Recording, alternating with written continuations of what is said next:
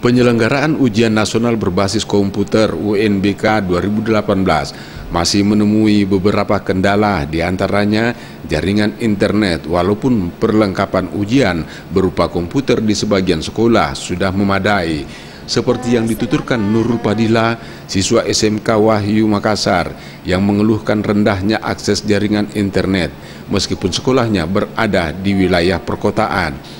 Tidak jarang para siswa harus login beberapa kali untuk dapat terus mengakses jaringan dalam menjawab soal-soal ujian sehingga memakan waktu untuk akses sementara waktu yang diberikan untuk menjawab setiap soal ujian juga terbatas.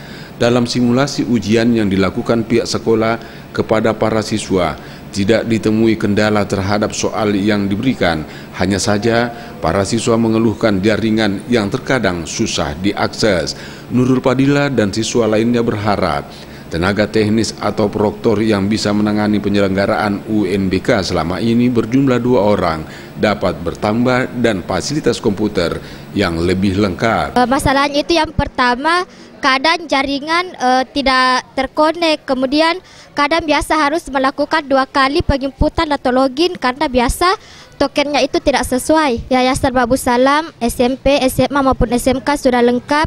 Jadi mudah-mudahan dalam menghadapi ujiannya nanti Yayasan Babu Salam dapat sukses Pelaksanaan ujian nasional berbasis komputer tingkat SMA, SMK, dan Madrasah Aliyah akan berlangsung bulan April mendatang sehingga sejumlah sekolah tengah mempersiapkan UNBK ini melalui simulasi maupun tryout.